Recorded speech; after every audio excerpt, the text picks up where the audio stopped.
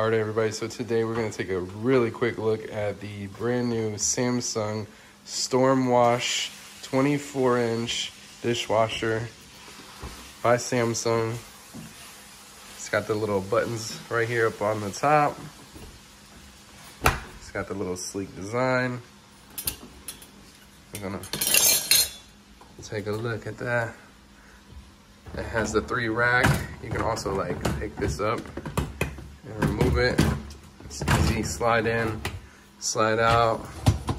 Second rack. You got your third rack. So you can put, you know, just random things that don't fit in a normal dishwasher. You know, stuff like that. Everything else, bowls, forks, knives, tools, chopsticks that are metal. Everything else in there.